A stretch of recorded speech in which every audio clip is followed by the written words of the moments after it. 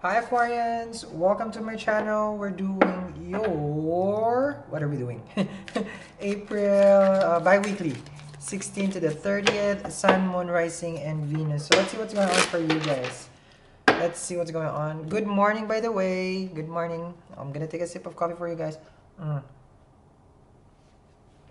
If you're on the way to work, good morning. I hope you have a wonderful day at work. Mm. Wonderful energy. Regardless, if you don't have a work, I hope you find work. okay. yeah, see, I'm sending you a good vibration there. Okay. now, let's see what's going on for my Aquarian, Sun, Moon, Rising, and Venus. Let's see what's going on for you guys. Oh, let me pause. I was announcing to everybody I will be doing personal readings again. I haven't done it like in the past three months. But the way that it works, I'm gonna announce, I'm gonna put a video. If I have an energy to spare, one energy the same day, I'll read. I mean, it's always happens gonna be the same day. You're not gonna be booking in the future anymore because I'm two to three months booked before. Not gonna happen anymore. That's too much. So if you are, you know, if you're there in the right moment, you saw, you know, there's availability for one spot for that day. There you go. Okay, or two spots for that day. There you go. You get read the same day. Okay, but because meaning I won't be putting it up if I don't have the time. There you go. Okay? So just welcome what is uh, what is in the present. That's what I'm doing right now. I welcome what is in the present, and that's it. I welcome what is in the present. Not about there. Here. okay, Aquarians. So let's see what's going on for you guys. Okay, so do watch out if I post something. Okay. Let's see what's going on. Here we go. Here we go. Here we go. Sun, Moon, Rising, and Venus. Ooh, here we go. If I see it, I have to say it. It's not a twins, because it didn't fall. Got here the chariot, moving towards success. This always follows the star card for me. So someone is following their destiny. Child. got here the stars, the universe.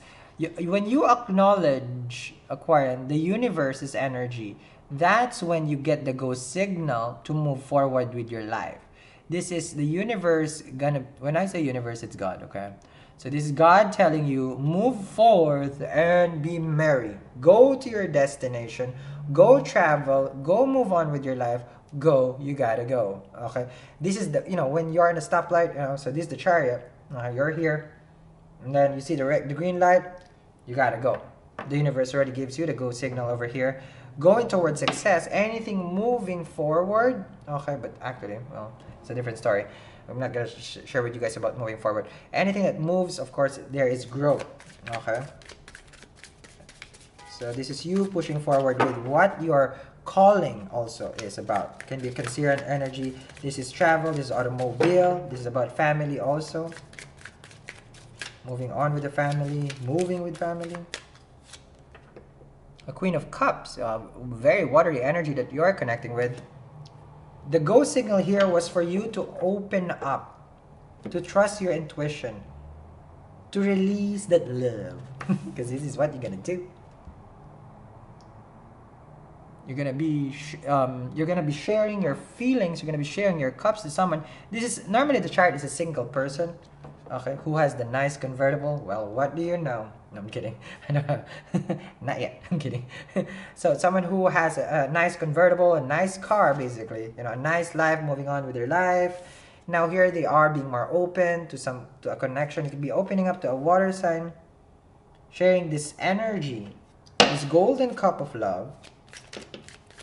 But this can be the person, the water sign coming towards you. This is travel. Remember, someone's gonna come and visit you. Open up you know, give their cup.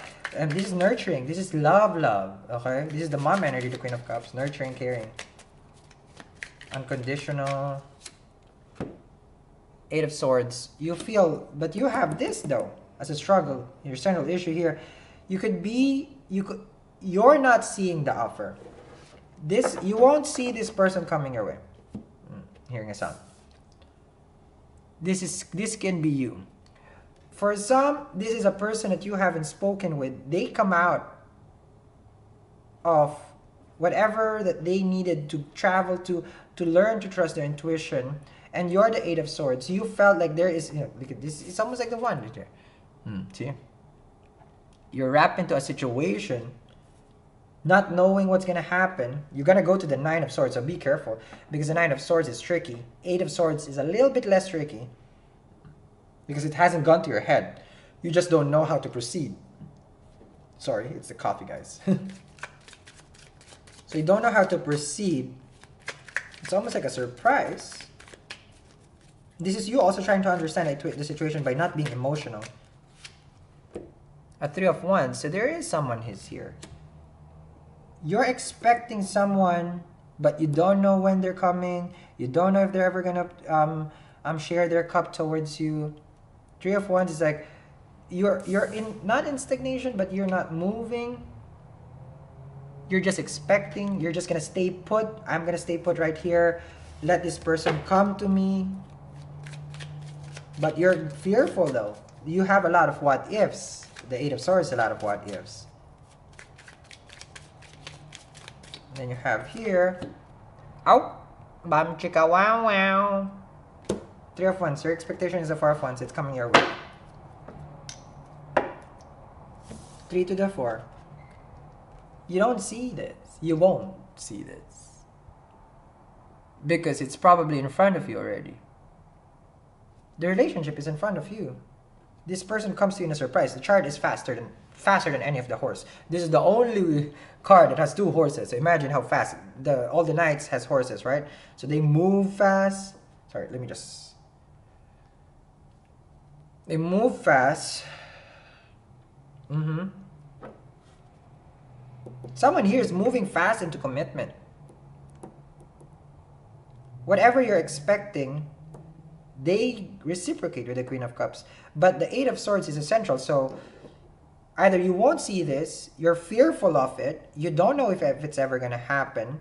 But from what I'm sensing here, it's a Four of Wands. It happens. First card strongest, last card strongest. Okay? So I'm going to continue this reading, Aquarians, as it moves forwards together with what they want from you um, and the four points. Have a wonderful um, last two weeks of April. I'll see you guys again. Bye.